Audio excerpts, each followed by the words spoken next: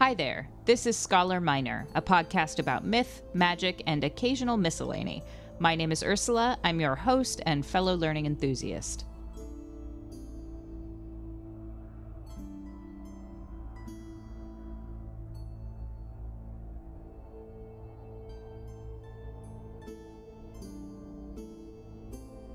Before anyone can hope to secure spirit photographs with regularity, conditions must first be provided. This not only needs an operator with some skill upon the spirit side of life who understands the laws governing the phenomena, but requires some considerable practice on their part with a medium before they succeed in manipulating the psychic forces. It also requires one with mediumistic qualities to supply from his body that refined psychic essence, in which a spirit is able, temporarily, to clothe himself and produce a form sufficiently tangible to affect the sensitive plate.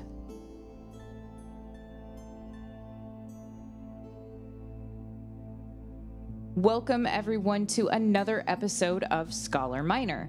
As you may have gathered from our opening passage by British parapsychologist James Hewat McKenzie, this week we will be discussing the strange world of spirit photography. I apologize for the late release of this episode. It has been another chaotic week, but I sincerely appreciate your patience and hope you enjoy.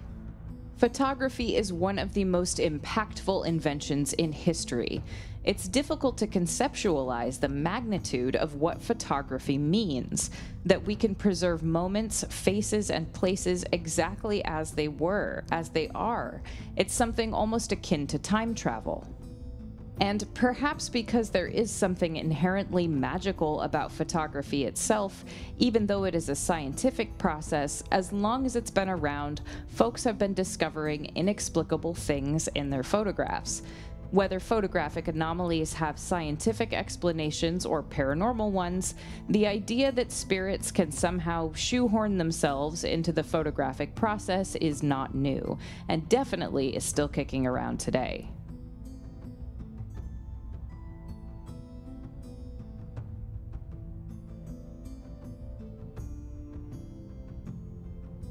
The earliest ancestor of the camera was the camera obscura or dark chamber. By admitting a single tiny hole of light into a darkened room, the image of the subject outside is projected upside down on the wall opposite the light. Now, how the heck does this work? Light travels in a straight line. This property is known as the rectilinear propagation of light. In a camera obscura, when the light reflected off a subject is condensed through the aperture or light hole, the light and therefore the image is reflected on the opposite surface. If the aperture is smaller, the projected image will be sharper but dimmer because there's less light. If it is larger, it will be brighter but softer in focus.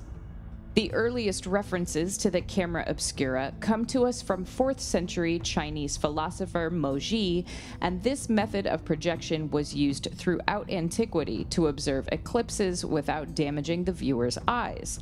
Some of the most influential and accurate writings on the phenomenon behind the camera obscura come from Arab physicist Ibn al Haytham, who conducted many experiments with what would become known as the pinhole camera in the 10th century BCE. The camera obscura was utilized for centuries. During the Renaissance, the camera obscura provided artists with a method of tracing the outlines of subjects. The earliest versions of this system were large, sometimes even entire dark rooms that could fit several people inside them. Over time, the cameras were made smaller, even portable by the 16th century. French inventor Louis Jacques Mandé Daguerre created the daguerreotype photography process in 1839, which built upon the foundation of the camera obscura. A sheet of silver plated copper would be polished and treated with light sensitive fumes, which would capture the image reflected on its surface by reacting to the light. After further chemical treatments, the image would darken and appear on the surface. These daguerreotype images were incredibly delicate, as they were no more than a combination of silver and mercury resting on a metal plate, and the images are easily wiped or scratched away. For this reason, they were usually kept in decorative glass cases, and many existing examples today are scuffed or damaged.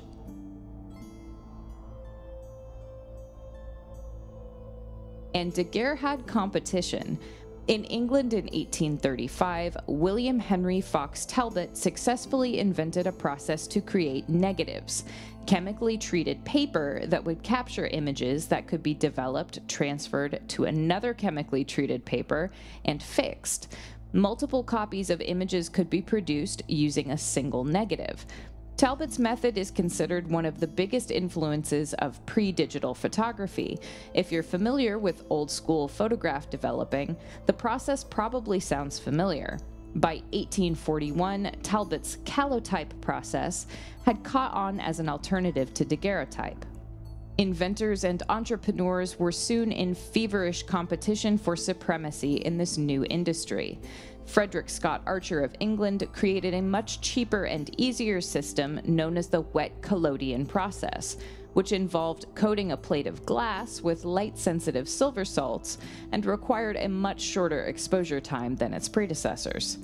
Ferrotype, or producing photographs on pieces of tin, was even cheaper, and by 1888, the Eastman Dry Plate and Film Company released the first Kodak camera, these early Kodaks were preloaded with chemically treated film in a roll, and after the roll was used up, customers sent the camera back to the factory where the pictures would be developed and then returned. Over the course of only a century, photography evolved from a convoluted science experiment to something everyday people could use to document their lives, as you can imagine, with sometimes strange results.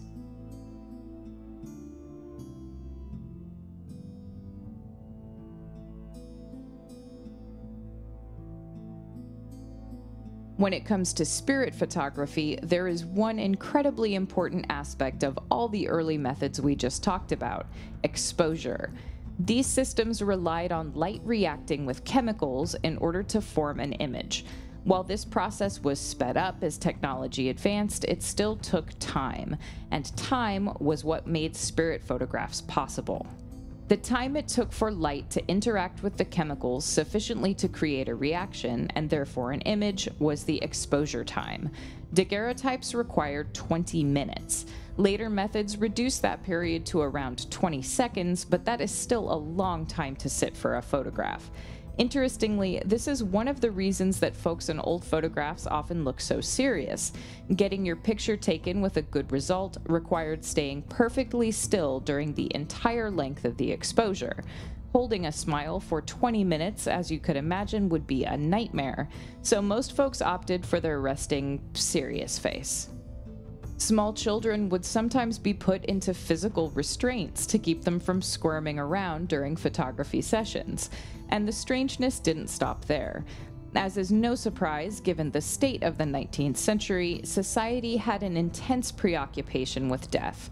It was everywhere, all the time, and many cultural rituals grew out of this incessant exposure to mortality. Death from consumption or tuberculosis became romanticized, featuring prominently in literature and art. Locks of hair were cut from dead loved ones and worn in lockets or rings. And upon a death, it was not uncommon to take a photograph of that person prior to burial, often propping them up or painting open eyes over the finished photograph to give them a more lifelike appearance.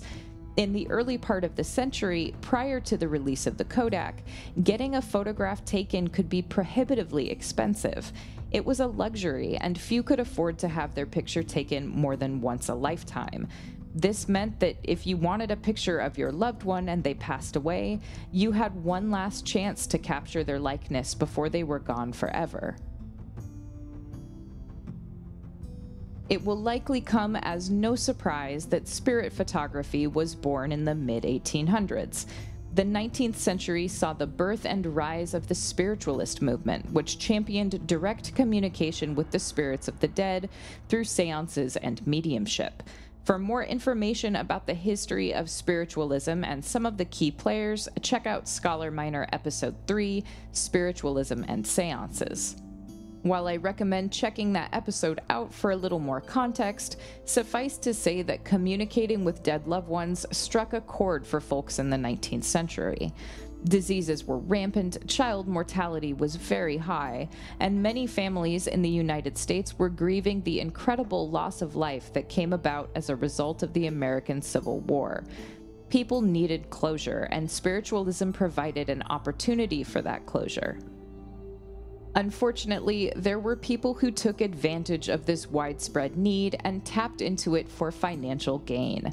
Hoaxers were rampant during this period, and spirit photography grew from the imaginations of these shrewd opportunists.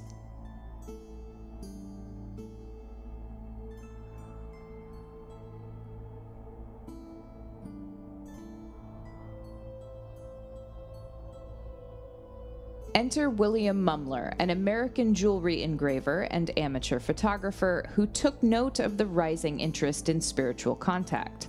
After developing a self portrait in the 1860s and discovering an apparition of his deceased cousin by his side, Mumler embarked on a new life as a professional spirit photographer. His wife Hannah became a medium or a practitioner of ghostly communication, and together they steadily grew in popularity. Mumler took photographs that showed the ghostly outlines of loved ones standing or sitting nearby their living relatives or friends. One of the most famous of his spirit photographs was taken for none other than former First Lady Mary Todd Lincoln. Mary sits in the foreground of the photo, and sure enough, a faint outline of Abraham Lincoln appears to be standing behind her, his hands comfortingly resting on her shoulders. Almost immediately, skeptics began to criticize Mumler's new and very lucrative methods. He was denounced by some as a fraud, drawing the ire of high profile individuals like showman and circus magnate P.T. Barnum. At first, it was difficult for authorities to decipher how exactly Mumler's photographs were made, but these days we know that the process relies on exposure, in this case, double exposure. To take a photograph with a 19th century camera like Mumler's, the image of the subject would be projected onto a chemically prepared glass plate, upon which the necessary chemical and light reaction would take place to produce the photograph. Spirit photographs were likely the result of double exposure, meaning a pre prepared glass plate already containing an image would be placed in front of the blank glass plate. The light entering the camera's aperture would filter through the existing image and onto the blank plate, overlaying the two onto the final photograph. The result, a ghostly image projected on top of the real life subject. Accusations began to fly, and Mumler was taken to court for being a fraud, with many, including P.T. Barnum, testifying against him. Some witnesses said they had encountered actors that had posed for Mumler's ghost photographs in costume to appear more like the desired spirit visitor. Others declared that Mumler had gone so far as to break into homes to retrieve existing images of the deceased relative. Mumler was acquitted as many of the claims couldn't be proven, but the damage to his career and to the reputation of spirit photography had been done. The case for and against spirit photography's legitimacy was intense and lasted into the early 20th century. Well known spiritualist and author of the Sherlock Holmes mysteries, Sir Arthur Conan Doyle, expressed his frustration at the situation in The Case for Spirit Photography, published in 1923. At present, the system adopted in quarters which should be responsible ones, he writes, is to concentrate attention upon whatever may seem failure or deception and to take no notice of all of the broader aspects of the question. In every science, the methods of advance are to pay strict attention to the positive results and to regard the negative ones as mere warnings of what to avoid. This process has been reversed in considering psychic photography, and the world has been deceived by those who should have been its guides. Truth will, of course, prevail, but its progress has been grievously retarded by this unhappy and unscientific mental attitude.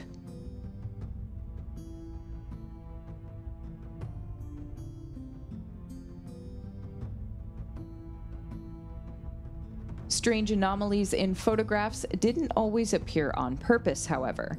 Remember those long exposure times we talked about? Well, if a person or animal happened to pass through the frame during one of those exposures, it would be caught in the photograph as a faint shape or blur.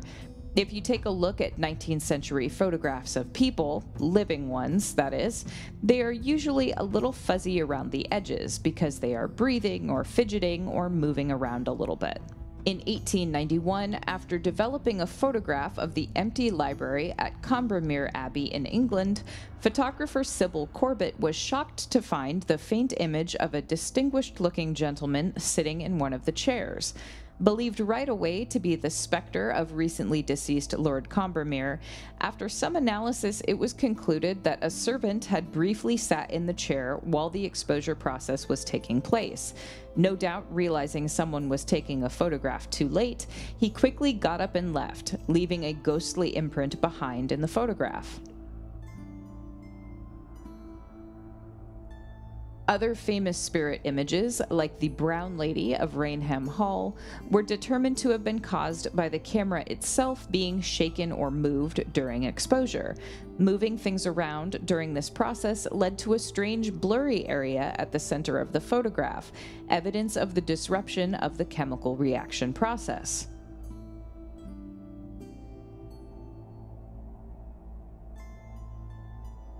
Smartphones are just as guilty of capturing strange images that could be perceived as supernatural. Your smartphone captures an image in stages, and if it is moved or bumped during this process, the subjects in the photograph can become distorted or stretched. This is especially typical of photos taken in the dark. You'll notice that your smartphone, especially if it's a little older, takes longer to take a picture in low light. This is because digital cameras work in a way that is actually quite similar to old school cameras. In the case of a smartphone camera, light enters the phone's lens through an aperture, which allows an amount of light to reach the sensor.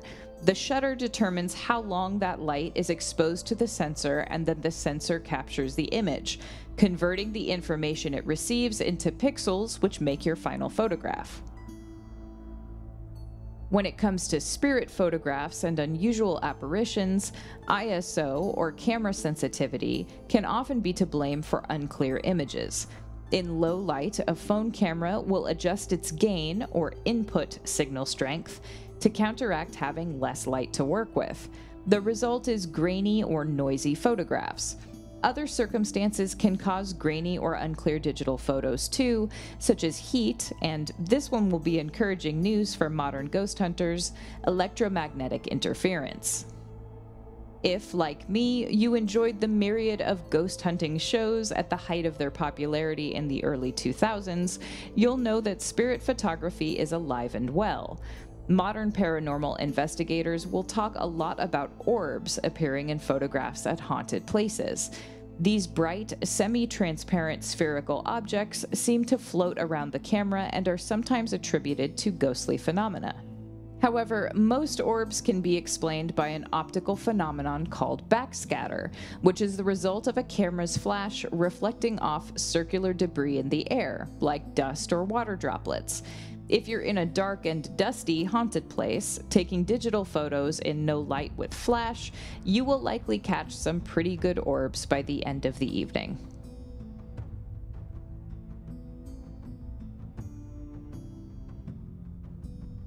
While most spirit photography, historical or modern, can be debunked with scientific or fraudulent explanations, I would be absolutely thrilled if a real ghost someday resigned to letting us take their photograph. But until then, we might as well keep trying and get some nice photos of our loved ones and favorite old buildings in the process. I hope that you enjoyed this episode of Scholar Minor. As always, I am immensely grateful that you are listening, and I can't wait to talk to you again next week. My references are in the show notes. Check out my website, www.ursaminorcreations.com, for additional content, and keep an eye on the Scholar Minor YouTube channel for some cool new stuff in the coming weeks. Take care, all. Have a beautiful week, and until next time.